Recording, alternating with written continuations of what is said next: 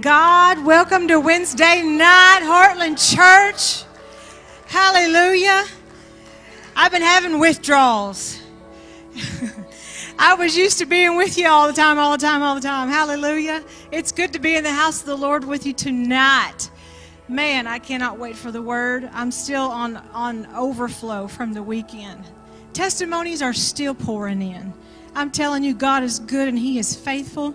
People are still coming in. They're swallowing their pizza as fast as they can swallow it.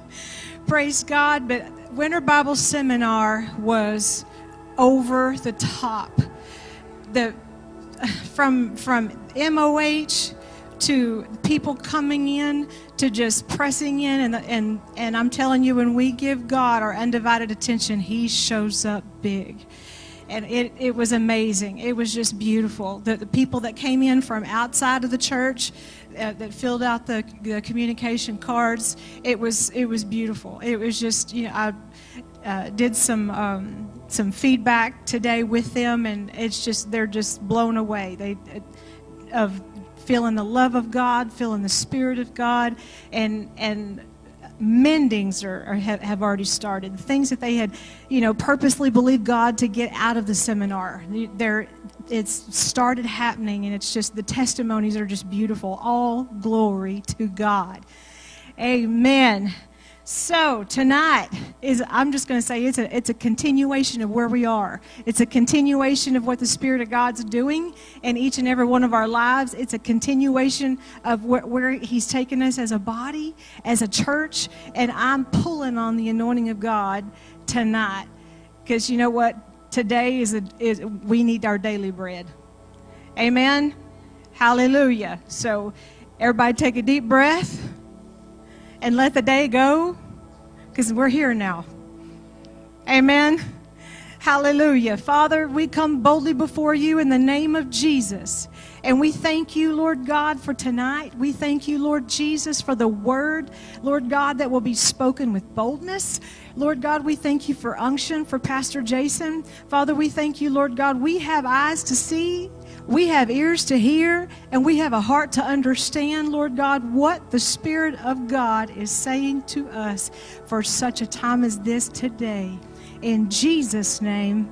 And everybody said, Amen. Hallelujah. Praise God. So good to be here this weekend. It feels like we've had it back to back to back to back, and I'm not griping. But Sunday evening at 6 o'clock, woman to woman, right here 6 to 7.30 and so it don't ask me what we're going to speak about because it, like i said it's a fresh word. And so uh, when you get here it'll be hot and ready. Amen. Hallelujah. Ladies bring somebody. Bring somebody. It's going to be good. Might be a little bit I, I think we're going to be a little bit on the fun side. I don't know. I'm, I'm sensing fun. But praise god. Praise the lord. Well brother tom will call you up here and we will receive tithing offering sir Glory to God. Hallelujah. Man, it's good to be here. I couldn't wait to get here. I'm ready. I'm going to ask you if you've got tithe or you've got seed, you got an envelope filled out. If you don't have an envelope, please get one. Really helps our, our ladies in the accounting. I'm going to ask you to hold it in your hand while we talk about this. I, I like to do that myself, and if you just refuse, that's okay. Nobody's going to judge you, but Brother Bob and, and Miss Connie are out of town, and, and so I'm just filling in. Let's turn to Luke 6 38. And, and I'm going to repeat what Brother Bob says. If Heartland isn't your home church, that's not where your tithe belongs, not here. It's a great place to sow seed. And we receive it and we bless it in the name of Jesus but you you take the tithe to the storehouse that's feeding you. Uh, this stuff I, I began to approach sowing.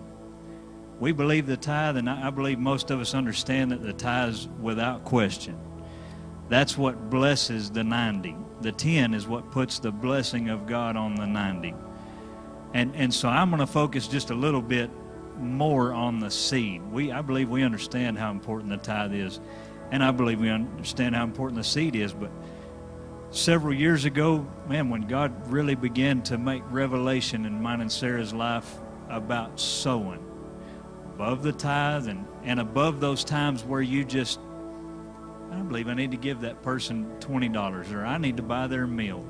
Above that, I'm talking about consistent sowing. Man, I do this every paycheck as if it was the tithe because I believe the Lord led me to. And, and we can take you to lots of scriptures and, and I can prove to you the Lord's led you to give. But I, I approach it very seriously with, with reverence, and there's a holiness to this. You know, this is something that in the natural we've all labored to get. Thank God for the jobs. He's the provider, but we had to do something in the natural to get this. And God believes it's holy. So as you're holding it and as we begin to look at some of the word, just look at it the way God does. This is holy and and the building fund hasn't stopped since the the rise and build service. So if you have that in your heart, if you have ecclesia in your heart, you have renovate in your heart, double digits is another area. It, just be sure to be specific on your envelope, whatever God's leading you to do out of the abundance of your heart. Uh, so we're at Luke 6. I said 38. I'm going to back up to 37. and, and the reason why is because if you listen to 37, it's going to condition your heart to give. We give out of faith. Faith works through love. Without love, my faith's not going to be effective for me. Might be effective for others. Doesn't mean that when I walk up and, and hand somebody a $100 bill to pay their electric bill, that it doesn't bless them. But my faith is not going to be effective for me if I'm not rooted and motivated and grounded in the love of God. Be you therefore merciful. Your Father is also merciful. Judge not, and you shall not be judged. Condemn not, and you shall not be condemned. Forgive, and you shall be forgiven. Now we're going to get into the giving. So we've conditioned our heart. Father, by faith, we release any odd against anybody. We're not going to stand before you and hold unforgiveness and bitterness in our heart. We release it in the name of Jesus. Give, and it shall be given unto you, good measure, pressed down and shaken together, and running over shall men give into your bosom. For with the same measure that you mete withal, it shall be measured back to you again. And, and one thing I'd like to just point out as we're talking about this portion of Scripture thank God for all the times that I was the receiver from other men and, and ladies, this is a mankind, not a, a gender thing. I thank God for all those times I was a receiver. But I thank God just as much, and actually maybe just a little bit more, for the times that I'm the man, the human, that's able to give. Man, that's a wonderful place, y'all. That, that comes from the heart and the love of God.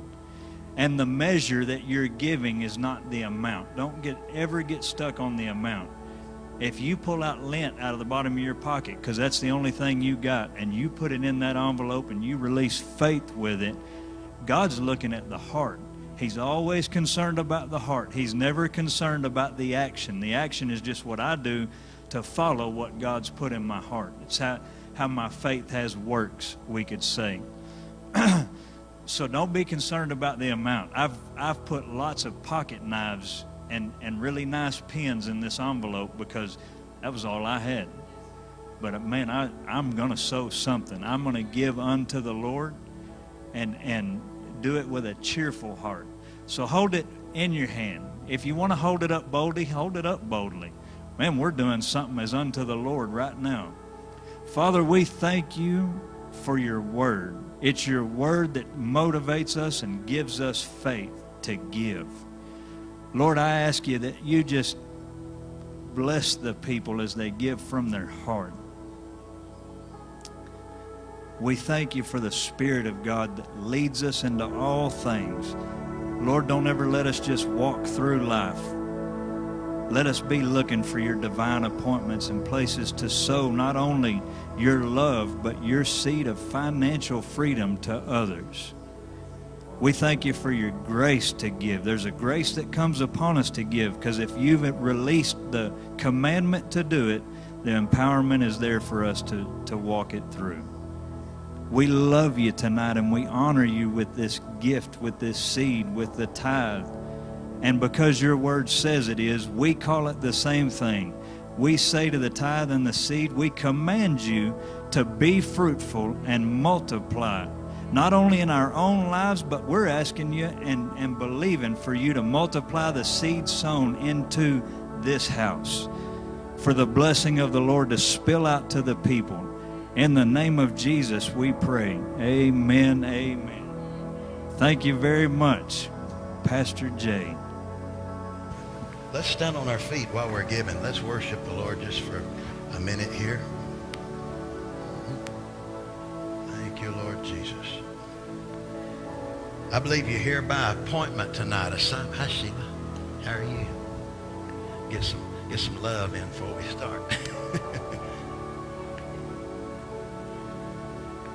I believe we're here on assignment tonight. By appointment. Let's lift our hands and let's worship him. The Bible says, I would that people would pray everywhere, lifting up holy hands without wrath and without doubting. That's two things that'll hinder our prayers. So no wrath and no doubting. Father, we worship you right now. We worship Jesus. We're so glad to be in the presence of God, the presence of the Word, the presence of faith, love, joy, peace, long-suffering, goodness, gentleness, faith, meekness, and the spirit of self-control that lives in us. Father, we cast all care upon you, for you care for us. We're so grateful that your word tells us that you will perfect the things that concern us. And we're so grateful for so many testimonies. So many testimonies already. From the Winter Bible Seminar, we give you all the glory for it. We thank you. We confess that Jesus is Lord. God raised him from and out of death. Because of that, we have no fear of death or fear of being separated from God eternally. We're so grateful, Lord, for your mercy and the covenant that you've cut between Jesus and that our faith in him makes him our representative, our go-between, our mediator our lawyer, our defense attorney. And we give you praise tonight. We ask and we believe, have believed, and we ask once more tonight, we ask for the anointing of God. I ask for the anointing of God to be on every person to hear the word of the Lord. We thank you for the anointing. It is the difference maker. You accomplish so much, Lord in the presence of the anointing. We thank you that that anointing will heal broken hearts. It will open the eyes of our inner man where the enemy has blinded us and deceived us. We thank you, Lord, that that anointing will set the captive free. Even if it comes through progression and layer after layer, freedom is theirs. Freedom is ours. We give you the glory and the honor. Amen. Miss Kelsey, come share with me right quick, please.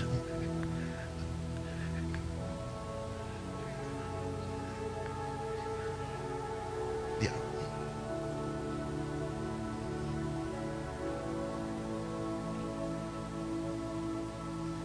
When it's red, it's on red.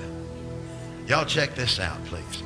This is just one of many. I'm telling you, many, many, many. Go ahead. Okay. So, um, I came into the Winter Bible Seminar believing for all kinds of things. And when we were sitting there doing our 101 scriptures, people started saying, I believe for kidneys to be regrown. And I wasn't even thinking of this, but the Lord brought in my gallbladder, and I just yelled out, Gallbladder! And Miss Jody saw me, and she knows my story. Um, eight years ago, I had to have emergency surgery to get my gallbladder removed. And um, since then, I have not been able to eat a lot of things, and then recently it's been everything that I've ate. I would get physically sick and 30 to an hour in the bathroom, like pain, doubled over. Um, anyways, and so I said that. I didn't really think anything about it. I'm believing for what I came in thinking that I needed to be believing for. So we came up here to get prayed for, and at this point, I'm still thinking of what else I have in my mind that I want to get prayed for. And Miss Jeannie, thank you for being obedient. She had to, she had something in her heart she needed to share about her digestive system. Miss Jody says, "Where's Kelsey?" And she was obedient also. She grabbed my hand, and Miss Jeannie prayed over me. And y'all, I, I just felt released at that moment after church service, my kids said, We want McDonald's. I haven't been able to eat at McDonald's in eight years without getting severely sick. We went to McDonald's. By faith, I ordered me a McChicken. I ate that McChicken, did not get sick. The next morning, my mom brought breakfast burritos from McDonald's. I ate two, did not get sick. I have eaten everything greasy that I could possibly get this week. I just had pizza and no pain.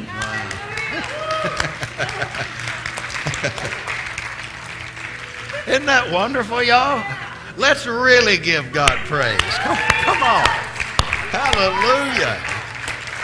That, that's a sign and a wonder. That's a miracle. Eight years, man. Come on. That's wonderful. Say thank you, Jesus. Hallelujah. Uh, there has been so many testimonies. Now, I say that to encourage you. If, if, if yours hasn't completely manifested, don't let, don't let testimony discourage you. These are to build your faith, edify you. God's not a respecter of persons, is he? No, huh? No, he's the same yesterday, today, and forever. And there's been so many testimonies. There's been breakthrough. There's been relationships restored.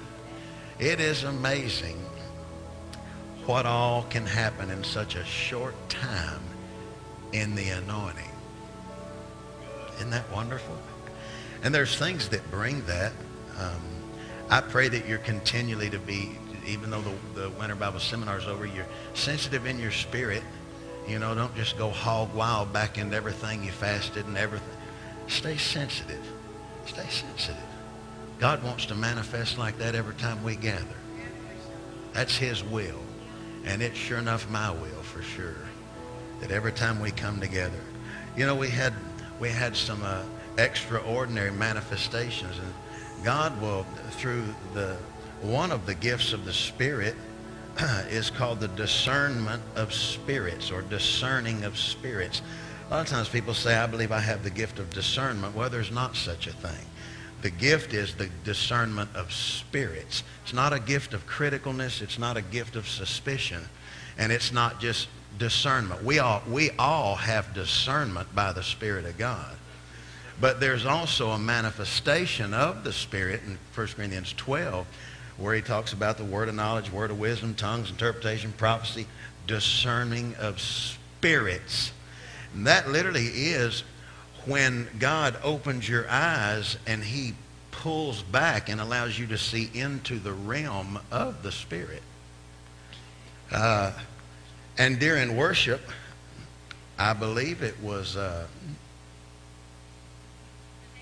Sunday morning. Yeah. Well, Sarah started dancing and singing. That's not really Sarah's character. Jody started dancing and singing. That's really not Jody's character.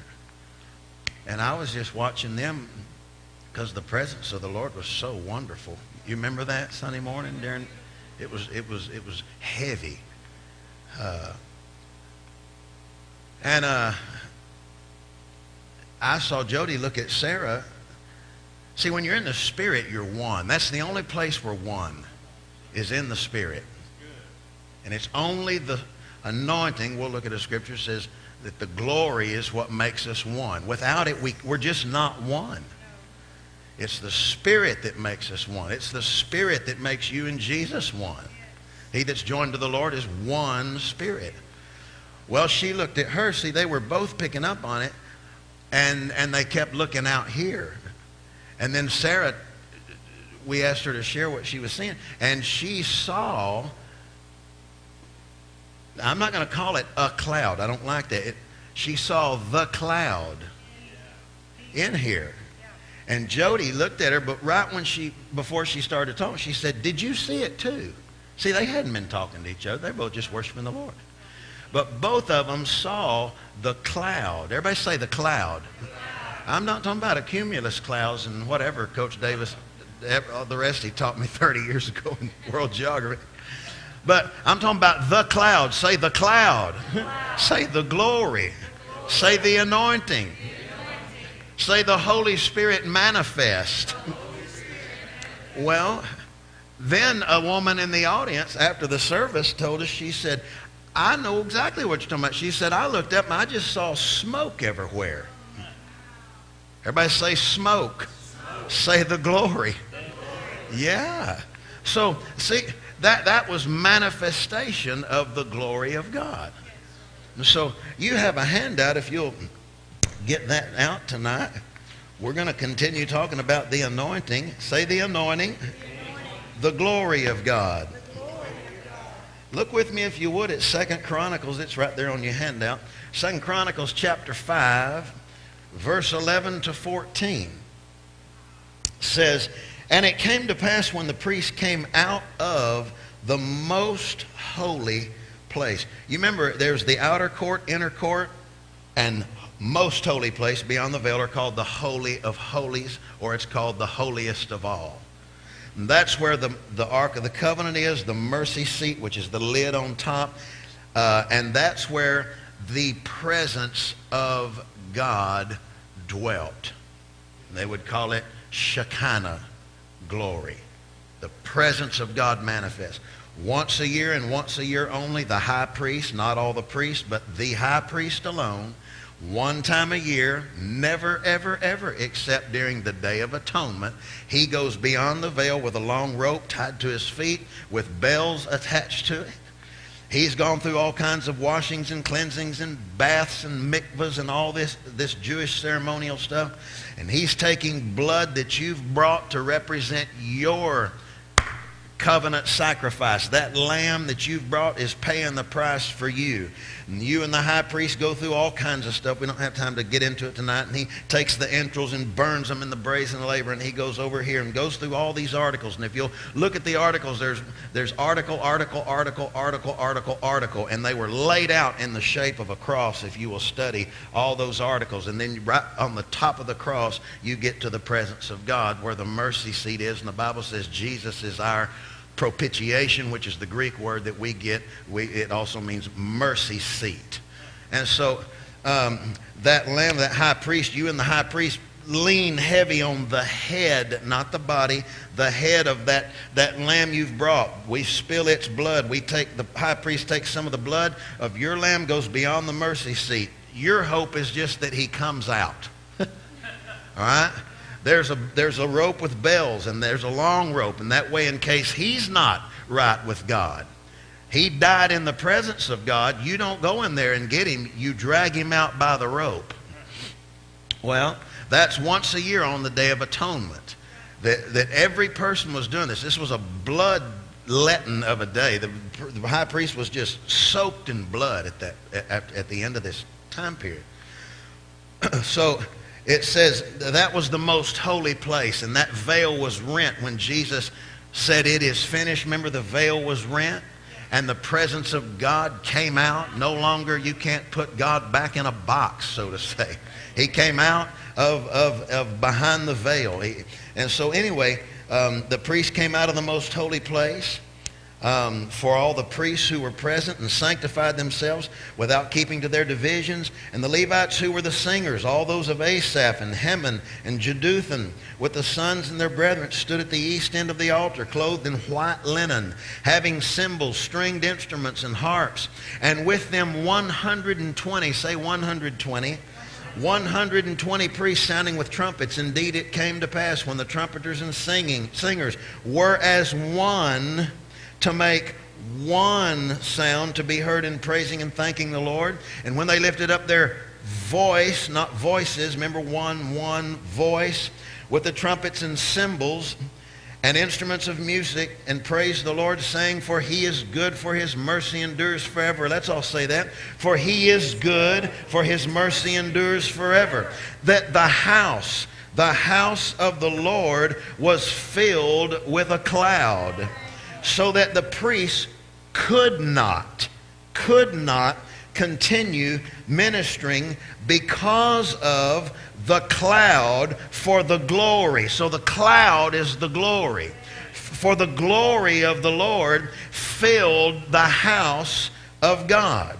The glory of the Lord, the cloud, the Holy Spirit manifest, filled the house of God, filled the temple of God. Are you following me here? And then you go two chapters later, chapter 7, when Solomon had finished praying, fire came down. Say that. Fire came down from heaven and consumed the burnt offering and the sacrifices, and the glory of the Lord filled the temple. And the priests could not enter into the house of the Lord. It'd be like us showing up for church and you just you can't even get in because the, the presence of God is so strong. Fire came down. The glory of the Lord filled the temple. And the priests could not enter the house of the Lord because the glory, say the glory, the glory of the Lord had filled the Lord's house. The glory filled the Lord's house. The glory filled the Lord's house. When all the children of Israel saw how the fire came down and the glory of the Lord on the temple, they bowed their faces to the ground on the pavement and worshiped and praised the Lord, saying, What they say? For he is good, for his mercy endures forever. Exodus 13 21. And the Lord went before them by day in a pillar of cloud to lead the way. He led them by the cloud. And by night in a pillar of fire to give them light, so as to go by day and night. He did not take away the pillar of cloud by day or the pillar of fire by night from before the people. He never took it away. No matter what condition they were in, he never took it away. Aren't you thankful for that? Now listen, this pillar of fire and this cloud that went before them, remember, it led them, it gave them light, it gave them warmth at night. It's freezing cold in the desert at night, and it's blistering hot in the day. It gave them, the cloud gave them shade during the day, and it was leading them. The fire gave them warmth at night and light at night, and it was leading them. It led them, it kept them, and it protected them. 1 Corinthians 10, 1 to 4. I want to read this to you. You can turn there if you, if you would. 1 Corinthians 10, 1 through 4. 1 Corinthians 10, verse 1 to 4. Says, My dear fellow believers, you need to understand that all of our Jewish ancestors who walked through a wilderness long ago were under the glory cloud, the Passion Translation says. They were under the glory cloud. And they passed through. I like that. They were under the glory cloud and passed through. Man, I got good news for you. If you'll stay with the Spirit, stay with the glory, stay with the anointing, you'll pass through. No matter how rough it gets, stay with the anointing. Stay with the Word. Stay with the Spirit.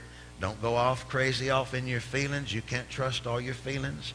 But you can trust the glory. You can trust the anointing. You can trust the Holy Spirit. You can trust the Word of God. The Spirit of God will always confirm the Word of God. The Word of God will always, it'll always line up and, and uh, with the Spirit of God. You can't, only the, only, the, only the Word of God can even dissect God the Father, Son, and Holy Spirit for us. Only the Word of God is sharp enough to divide you from spirit, soul, and body. Then you get into mind, and then you get into the brain. I mean, you're a very complex being. You can't figure figure you out. Isn't it right? So, I mean, if you ain't got you figured out, you sure ain't got nobody else figured out. Some of you can amen on that. If you haven't got you figured out and can't outside of the word and the wisdom of God, you sure can't figure out nobody else. Come on. So It says they were all under the cloud and they passed through the waters of the sea on both sides. Look at verse 2. They were all immersed into the cloud of glory. Immersed, baptized, baptizo, immersed, fully wet in the cloud of glory fully wet, say that, fully wet in the cloud of glory, into the fellowship of Moses and into the sea. They all ate the same heavenly manna. Jesus said, I am the bread of life. And drank from the same spiritual rock and they th- that traveled with them. And that rock was Christ himself. Moses smote the rock and water came out and fed all the people, over a million people, fed all of their animals and their beasts.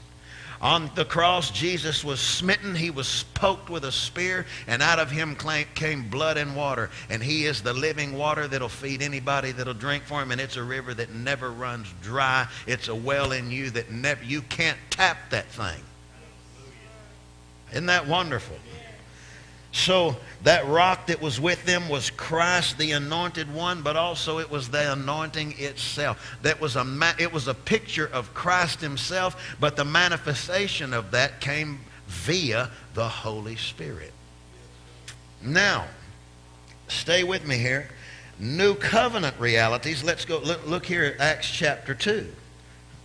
Hang on, flip back to the top of your, your page here, 2 Chronicles 5. I just want to go down here for he, uh, uh, right about three lines from the bottom on the right. For he is good, for his mercy endures forever at the top. That the house of the Lord was filled with a cloud. Say that. The house of the Lord was filled with a cloud. Keep reading. So that the priest could not continue ministering because of the cloud, for the glory of the Lord filled the house. Read the next section with me, please. When Solomon had finished praying, a fire came down from heaven and consumed the burnt offering and the sacrifices. And the glory of the Lord filled the temple. And the priests could not enter the house of the Lord because the glory of the Lord had filled the Lord's house when all the children of Israel saw how the fire came down and the glory of the Lord on the temple, they bowed their faces to the ground on the pavement and worshiped and praised the Lord, saying, For he is good and his mercy endures forever. Go to the bottom, Acts 2. Read it with me. When the day of Pentecost had fully come, they were all with one accord in one place. And suddenly there came a sound from heaven as of a rushing mighty wind, and it filled the whole house where they were sitting. Then there appeared to them divided tongues as of fire, and one sat upon each of them, and they were all filled with the Holy Spirit and began to speak with other tongues as the Spirit gave them utterance.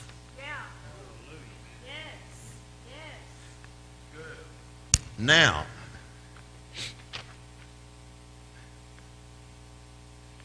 listen to the passion, if you will. Are you seeing that Acts 2 was the fulfillment of what was happening in 2 Chronicles 5 and 2 Chronicles 7 and other places. The end of the book of Exodus, when they, when they finished building the temple, the same thing happened. Bible says there was 120 priests, didn't it? Acts chapter 2 tells us in chapter 1 that gathered up in that upper room there was approximately 120 of them gathered up in that upper room. And the glory filled the temple. And we see that the glory filled the upper room. Same room they took what we call the, the Last Supper in. we, we read about fire coming down and consuming an offering, burnt offering. Well, we read about that pillar of fire we read about the glory cloud, the cloud being the glory filled the temple. And we just read, and I want to read it from the Passion to you, please. Listen to this, if you will, from Acts chapter 2. And on the day Pentecost was being fulfilled, all the disciples were together in one place. Now listen, Suddenly they heard the sound of a violent blast of wind rushing into the house from out of the heavenly realm.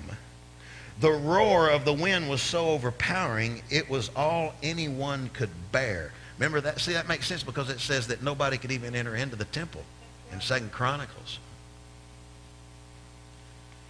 Then all at once a pillar of fire appeared in front of their eyes. What do you reckon that pillar of fire was? Same one. Same one that led them people. Led the covenant people. Well, here's the new covenant people. The birthday of the church. A pillar of fire appeared in front of their eyes. It, that pillar, separated into cloven tongues, or it, don't think of this tongue. It's, it's a clove, it's a divided clove. And it busted one pillar of fire, bam, went into 120 individual. Now she's a pillar of fire. She's a pillar of fire. He's a pillar of fire. She's a pillar of fire. He's a pillar. Are you following me here? And it's not just upon now, it's within. And I want you to see this.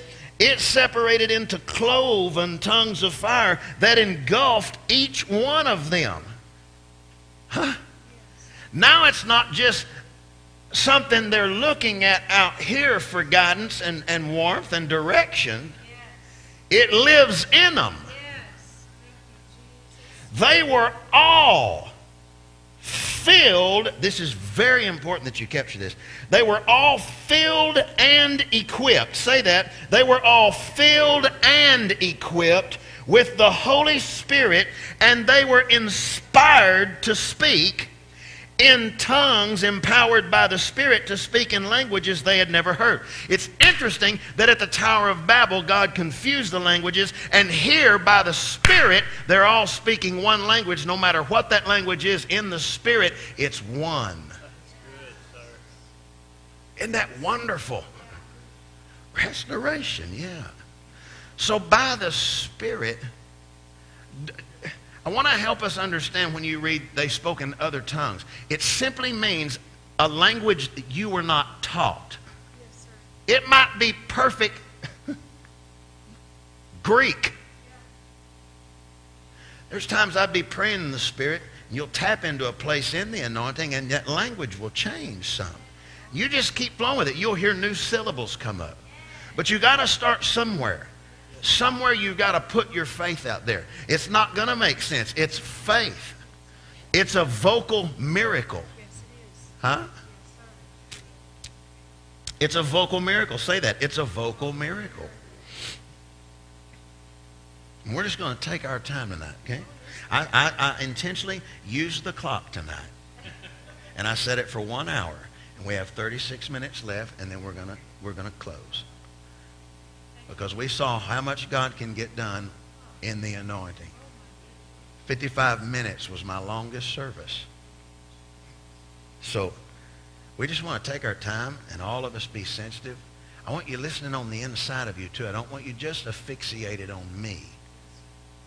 But I want you sensitive in your inner man too. God may want to speak something to you. See?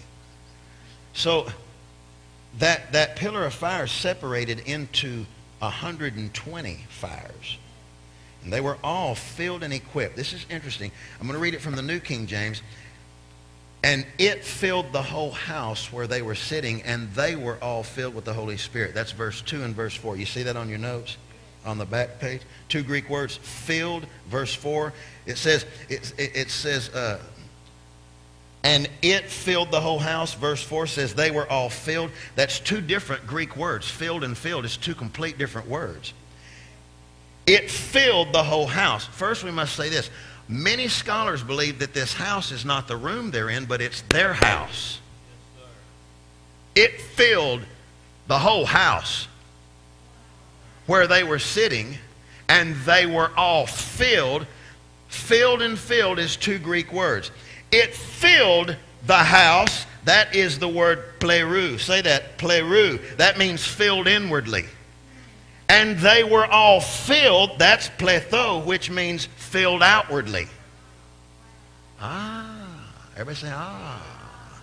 Now we're getting somewhere. That pillar of fire, that sound, it moved into the house and it separated into 120. And that house was filled inwardly, pleroo. And then that house was pletho, filled outwardly, filled and equipped. Huh? You're filled inwardly for life. You have an unction on the inside, and in that unction, you know all things. In the unction, you do. You don't know, you don't know anything that the Spirit of God doesn't let you in on. For who has known the mind of the Lord that we may instruct him? No man knows the things of God except the Spirit of God. Yea, the Spirit of God knows, yea, the deep things of God. And we've been given the Spirit so that we might know the things of God that have been freely given to us. But we don't know until the unction takes the lid off. That's the eyes of your inward man. That's the Spirit of revelation now in operation. There's a difference between education and revelation. Revelation brings an impartation. Are you here? Isn't this wonderful, y'all? Say the spirit of revelation, the spirit of wisdom. Yeah. So the Holy Spirit is the one who knows all the things of God, y'all. The deep things of God. And so they were filled, their house was filled inwardly, pleroo. And then they were filled outwardly, pletho. Filled inwardly for life. He will lead you. He will guide you. He will tell you things to come. He'll show you things to come. He'll remind you. He'll tell you what job you need to take and the one that you don't need to take that job. He may have you do something, but it's not time yet. Don't, to get out of timing is to get out of the will. Not time yet. I know you're excited. Stay calm. Wait on me. They that are led by the Spirit, not them that try to lead the Spirit. They that are led by the Spirit. I have had, listen, a thousand God ideas, brilliant ideas. They weren't mine. They were the Holy Ghost, so I can say they were brilliant. They were brilliant ideas. They were God ideas. They were scriptural ideas. And I was told, let him grow it. And I'd go to Pastor Ken, just about to explode with it. Come on. Listen to me until it moves you, it's not going to move nobody. If you're not sold on it, you can't sell it to nobody. Huh? And there's a difference between being pleroo without pletho. I used to go to a church that they don't believe in pletho. They believe in pleroo, but they don't believe in pletho. They believe in Play-Doh. Not they believe in being filled inwardly. Listen, people that say, well, you know, we don't really believe in the ministry of the Holy Ghost, Holy Spirit. Well, then what you're telling me is you don't believe in the ministry of Jesus, and you're also telling me you don't believe you can be born again because the Spirit of God is the one that baptizes you into Jesus. Romans 8 9 says, if any man does not have the Spirit of Christ, he's not, he doesn't belong to Christ. That tells me that you're still the old man because it's the Spirit of God that circumcises. He's the one that, if any man be in Christ, he's a new creation. Well, if you don't believe in the Holy Spirit, you can't believe in Christ, which is the anointing which the Spirit of the Lord has anointed the two together. Are you here? So, we believe in the Spirit of God. We believe in his manifestations. Um, uh, let, us keep going here. So, so are we? Do we see first of all, before we move on, that what we read about in the Chronicles and again in the Chronicles that came to pass in a whole new fulfilling way in Acts two. What used to fill the temple now filled the temple, huh? What used to fill the temple filled the house, huh? Furnished and equipped. I want us to read something about furnished and equipped. Go to John 14, 15, if you will. John 14, 15. John 14, 15. Thank you, Jesus.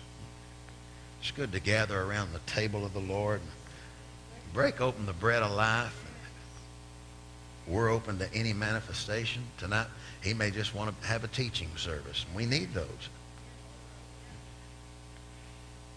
We're going to read verse 15 to 20. And I'm going to read it from the Passion. I just really like the way it reads. Where did I say 14, 15?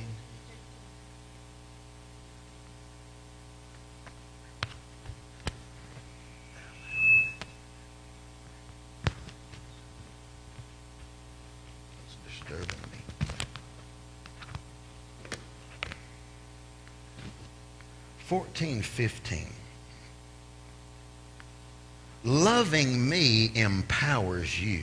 Boy, I like that. See, the King James says, if you love me, you will keep my commandments. That is true. But, it, but again, it's a love relationship is why I keep it. Isn't that good, y'all? It's a love relationship. Is why I keep it. This ring, listen, this ring has not kept me faithful to my wife for how long? 27 years. But love has. I mean, the ring is just so, so, all the hotties don't try to jump on me. I, I, come, come on. No, I'm kidding. You know I'm kidding. the ring is a, is a, is a mark. It's, it's a seal that says, I'm not available. I'm taken. Come on, yo. And the Bible says that's the way our hearts are. Paul said that I might present you a chaste virgin unto Christ. Isn't that good? Isn't that wonderful, y'all? Now, watch this. Loving me empowers you to obey my commands. Whatever he tells you to do, do it. But it's, it's love. Listen, people will ask these kind of questions. They'll say, now, now, what do you do to stay filled? What do you do to, to well, I, I wake up at 4 in the morning. I pray in the Holy Ghost till 7. And then I take communion till 8. And then I listen to all my favorite CDs till about 12. And then I just run and I shout and shout and shout for the Lord is good and his mercy endures forever till about 2.30. 2.30. No. I want you to understand it's okay to be a normal human anointed with the Spirit. Amen, this is where, listen, I have met my share, so I can speak from experiential knowledge. When, listen, we do not seek manifestations. We seek God. People that seek manifestations, listen to me, they're always goofballs. I mean, I say that not, I'm serious. They're always goofy. And what's interesting, most of them are always seeing devils of some kind. Well, listen, there's angels too. I'm talking about my experiential knowledge and dealing with people for over 20 years full time with this. I know a family right now. They're not here, so don't, you know, wonder who it is or not. But there's so much calamity in their home all the time. Calamity. Just weird stuff. I mean, you can't make this stuff up. Weird stuff tragic stuff. And everything's always a 10. I mean, the family lives at 911 level. Everything's got to be 911. And everything is always a devil, a demon.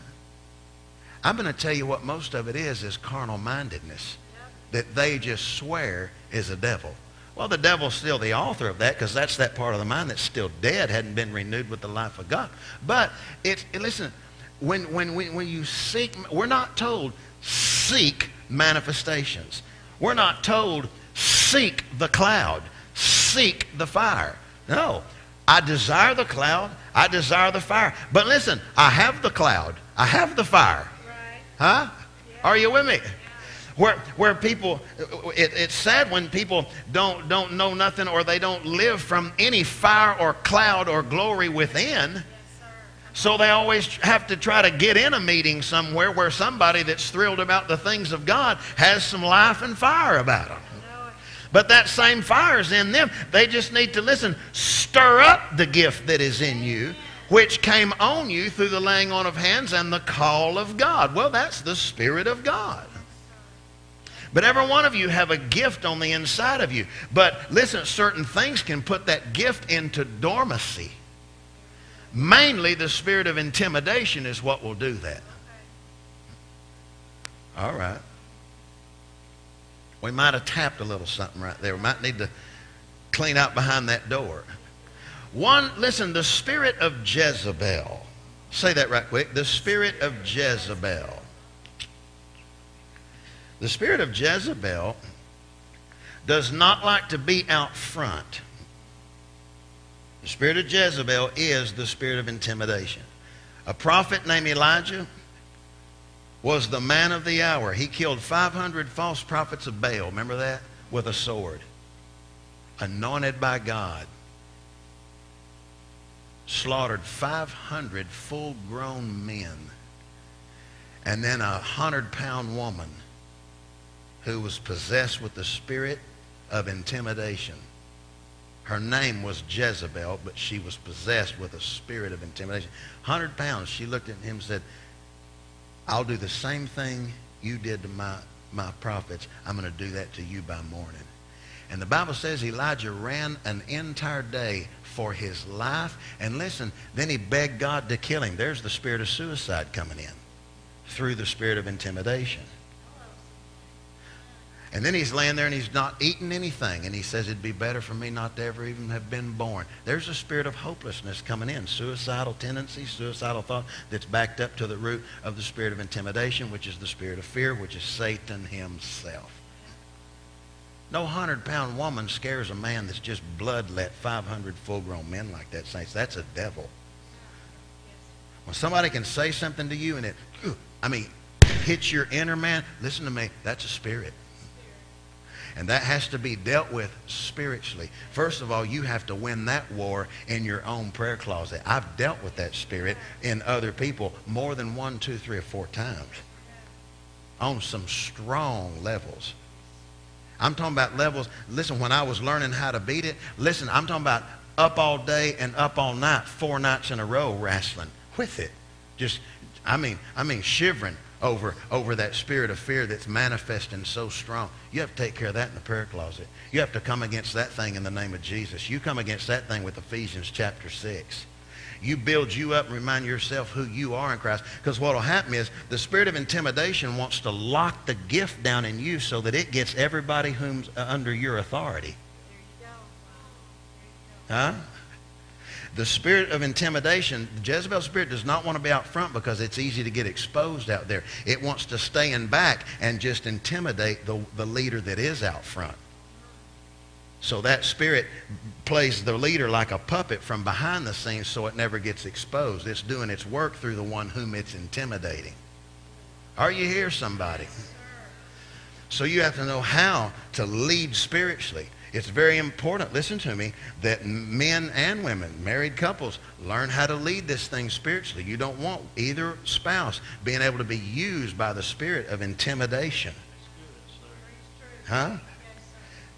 I've seen it work both ways.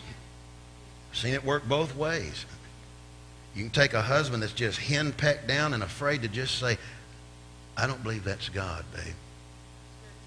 Well, why are you afraid to say that? Oh, spirit of intimidation, spirit of intimidation, spirit of intimidation. You need to be able to look, babe, I don't believe it's God. And we're not in agreement on this. Therefore, we are not doing that because we are not in agreement. And then you take that battle to the prayer closet because your battle is not with flesh and blood. It's with principalities and powers. Are you here? And it can be the same way. A wife has to be able to look at her husband. Jody and I grew through, through we've both grown a lot of areas, but, but she had to grow to the place. And I'm growing, I was at, in process myself, still in process, but, but where she could look at me and, and, and talk about finances. Huh? Talk about anything. If we're one, we got to be able to talk. Are you here with me? If we ain't talking, we're dying. Because communication is the blood of a relationship. It is the life of it, right? But we had to grow where we could talk about. The spirit of intimidation not be there. The spirit of intimidation not be there. But you have to battle that spirit in your prayer closet. You have to win that war yourself. Then you come to the place where you can go to that individual in peace. They hadn't had no freedom from it yet. I won't use you, sir. Listen, they haven't had any freedom yet, but I have. And I got the victory over that thing. So now I can confront them in the love of God. Say, I'd like to talk with you. Even if it's, I've been struggling with this for years. But I've taken it to prayer and I've gotten victory over it. I just want you to know my testimony. I want you to know what God's delivered me from. The spirit of intimidation. And it was manifesting through you. I don't even know if you're aware of it, but man, I'd struggle for a week over it after you said that to me. I forgive you. I just want you to know the victory I've gotten. See, now you're at least exposing that there's something between you and me here. It's not you, and it ain't me. Are you here, somebody? You get victory over that thing. And then even if they don't pursue any victory, get any victory. That's why you got to be so careful with who you, you enter in. You don't even mean to, but I'm telling you, when you buddy buddy with somebody, there's a soul tie made there. Your soul's one with that person. Are you here, somebody? What happens is you don't mean to, but I'm telling you, you give them a grip in your life. If, if, if you start to do something that you feel good about or know God's leading you to, and right before you do it, you have, I wonder what they'll think. Soul tie, soul tie, soul tie, soul tie. Well, I wonder if that'll make them mad. Soul tie, soul tie, soul tie. God's leading you. You know you got the okay from God. Now, I'm not necessarily talking about couples here because we'll be in agreement. I'm talking about anybody outside of. For me, even as resident pastor of the church, for me, if my wife, first of all, agrees it's God, we always bring it to Pastor and Miss Dawn. We're excited about this. We really believe we've heard God. They're every time going to say, do what God's put in your heart. But we still bring that. You always want the, the agreement of those whom you respect spiritually. If, if they was to say, you know, I sat on that for two days and I just don't have a peace about it, I'm not doing it. I'm backing off and I'm at least going to hold it. In. I didn't say I'm going to throw it away and think, oh, well, I thought I heard God. Well, you did hear God, but maybe it's not the time. But I'm going to have the agreement of those whom I respect spiritually. But outside of her and them, anybody else that I would start to do something and it's all it's not up here. Spirit things deal with spirit.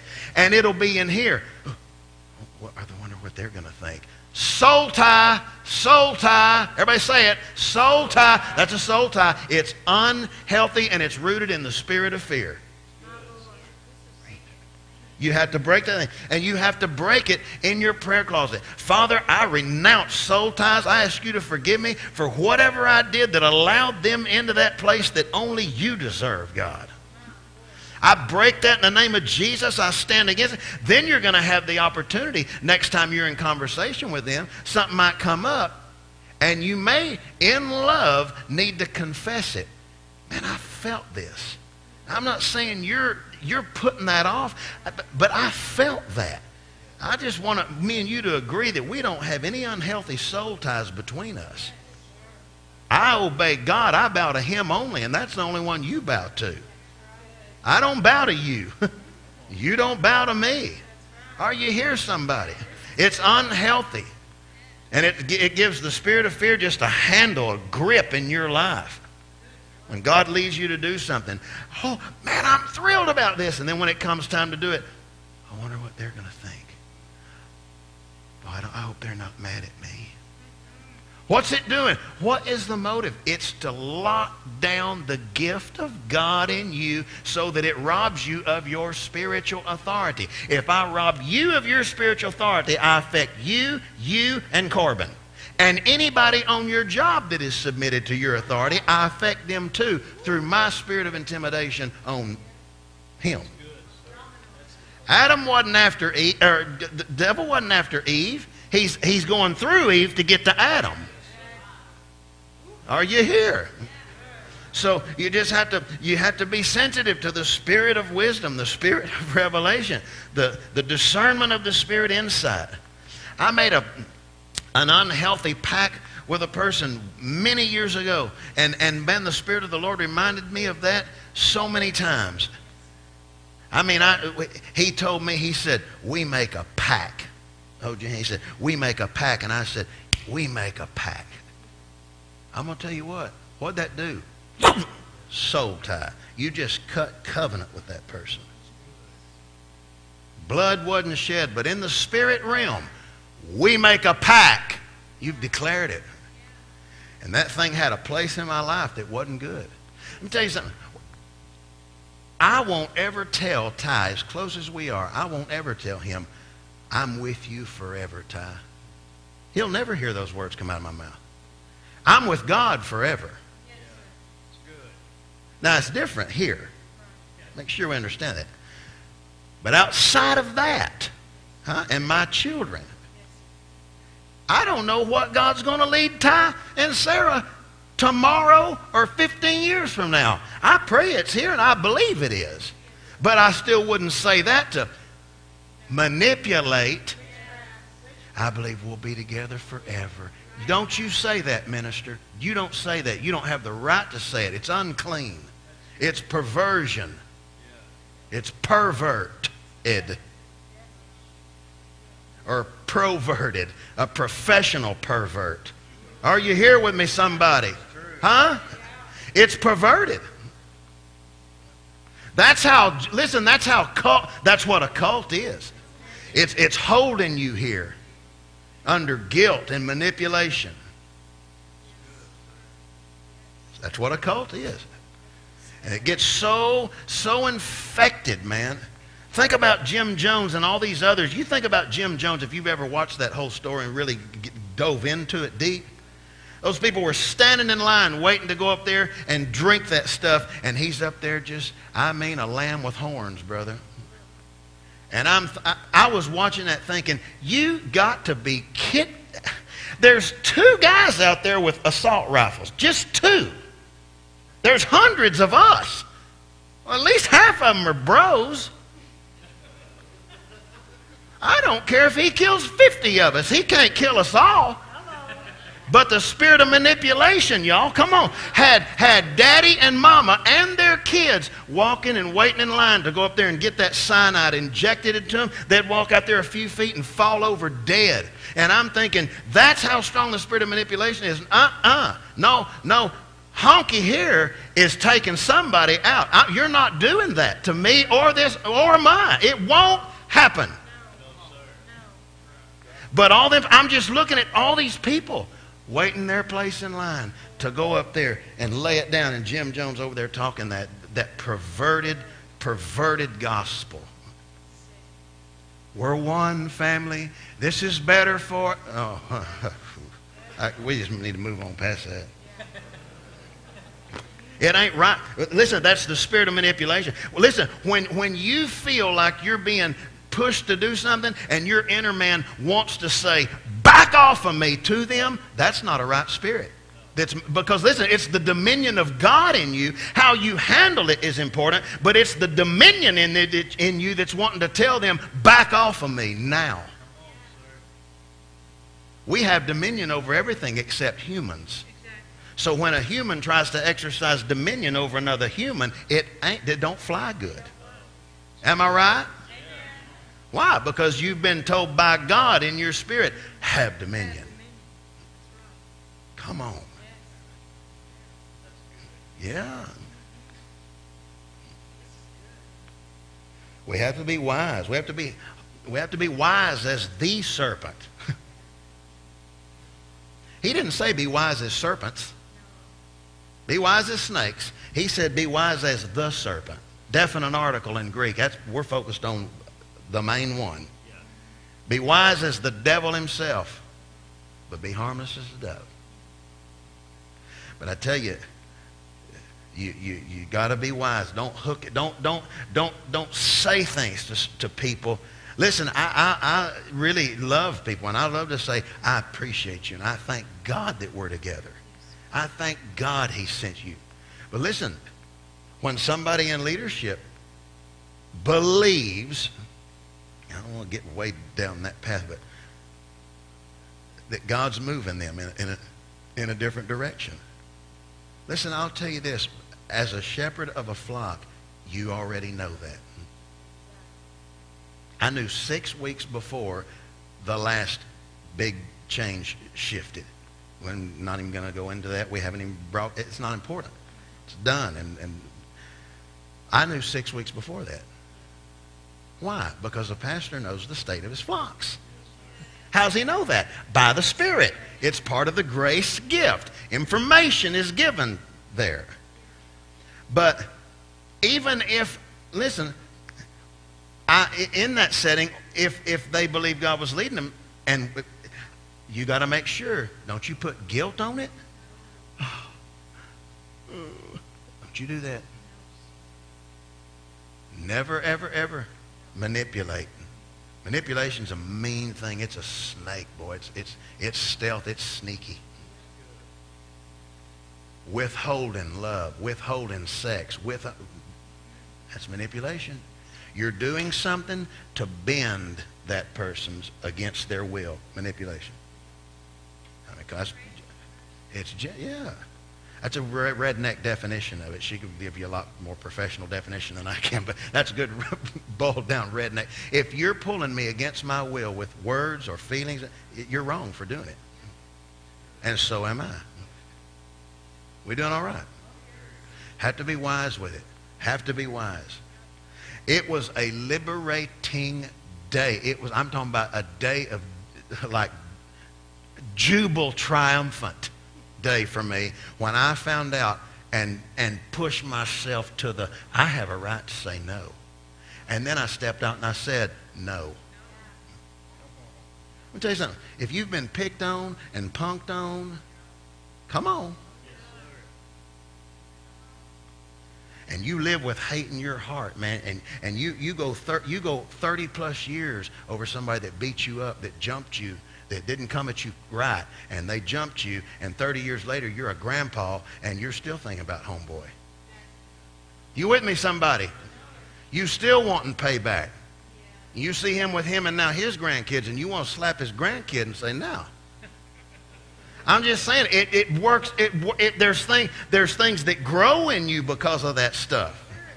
And God has to free you of that stuff. Yeah. But it's, the, it, it's wrong spirits. Remember what the Spirit of God brought up in the seminar? Don't believe every spirit. And I'm telling you, saints, be careful with what you say to people. Don't you enter in, don't say something. Don't, don't talk, uh, don't create covenants that you don't know what God's going to bring in your life or theirs tomorrow. You, you got to make sure you don't do that. You don't want anybody staying just for you. You want them stand because of God. Huh?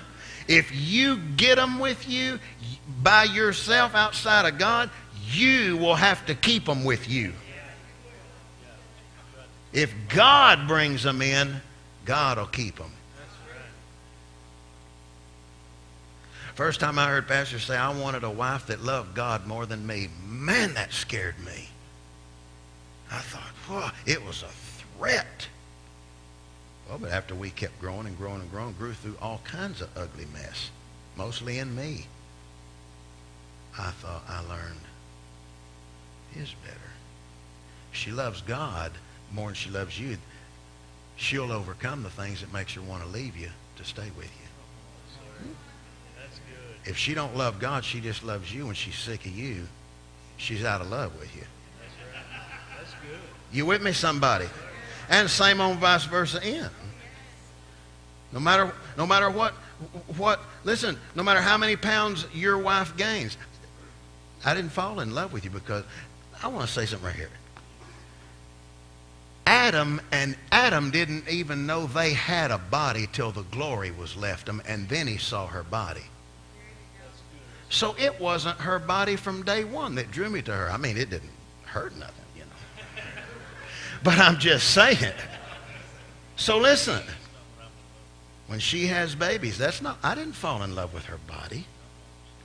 This is all tied together because you don't want her going into performance mode for you because that's, that's wrong spirits. And when she figures out the dance, just change the dance.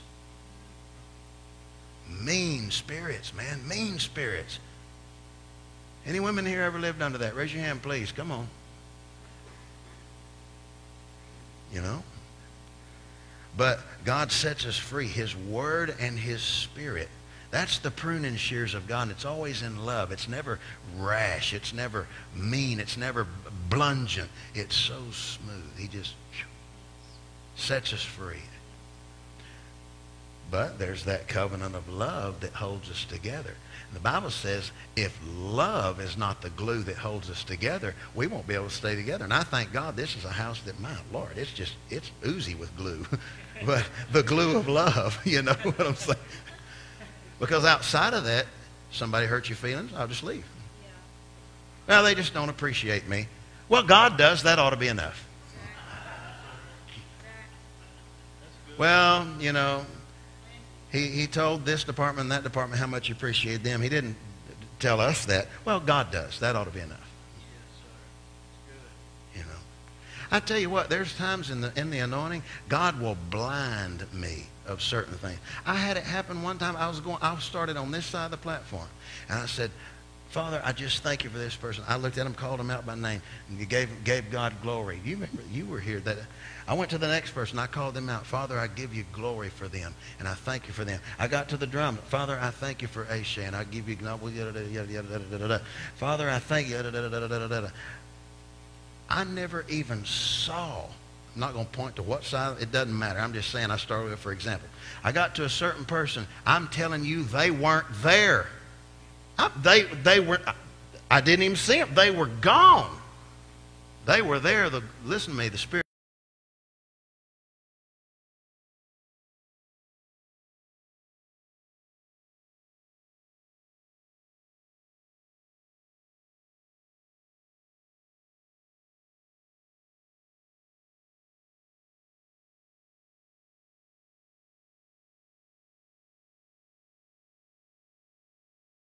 Cents a pocket on a shirt. The same crowd that said, Hosanna in the highest, is the ones that said, Crucify him. Same crowd. Same crowd. You can go through the word and just look at. I put a message together years ago. Same crowd, called Same Crowd. It's this crowd. They said this, and then they're killing him. Same crowd that said this, now they're killing him. Same crowd that now they're stoning him. Same crowd said that, now they're stoning him. That's why you, listen, you can't put your trust in that stuff. Oh, I can trust them. How do you know? Under the right setting, I wonder if you can. But you got to be very careful not to make soul ties. I'm down to a minute 33. But we followed the anointing. Have you gotten anything out of this yet? This is this is this is this this changes life for you. I'll end with this because Colossians 2, again, what God kept bringing up in the seminar says, In him is the fullness of the Godhead in bodily form, and we are complete in him. We are complete in the anointing. Have you noticed in the anointing, in that presence, there's no insecurity? Let me, let me throw this out here. That's why when we get to heaven, I do believe there is families I'm, I'm not because because brother so and so said. Well, I'm thankful for what brother so and so. What does brother Word say? That's what we build our confidence in. Well, I had a vision and I saw families. Well, I'm glad you're not the Bible. Show me in the Bible, because I don't rest my eternal security on what you believe you've seen, because that's just what you believe you've seen. And too many people live in their spiritual lives based on what so and so said they saw. What's the Word of God say?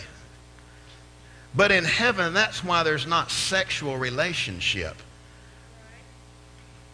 Whereas the angels are. Because listen, there's no need for it. We're complete in the anointing. Huh? Sexual relationship was given to replenish the earth. Huh? I hear you. I think Andrew turned the volume up when it's. no. It, it, it, God brought that in to replenish the earth. Replenish. Huh? Outside of replenishing the earth, listen to me, especially for the male gender, it's a deficiency that needs it. Man a man has to have it. Right? It's his number two greatest need. In heaven, there is no need. The Father and the Lamb are the light thereof, and they are the temple. There is no light there. The glory of the Lord is the light. And, and, and uh, when, where that relationship is considered with sexual relation, we're complete in the anointing. You just, uh, just take whatever degree it was that we experienced during the Winter Bible Seminar, and especially that heaviest morning, there's no insecurity in the building. There's no fear in the building. There was no pain. Be honest with me tonight. How many of you may have felt some symptoms of some pains that you know weren't there during the anointing? Raise your hand. See? And that's okay. I understand. I have too. Well, I, we don't give up on the healing. We know it belongs to. I'm just saying, my point is, in the anointing, we're complete. And that's just at that degree. How much more when mortal is swallowed up with the immortality? You talk about shalom, shalom.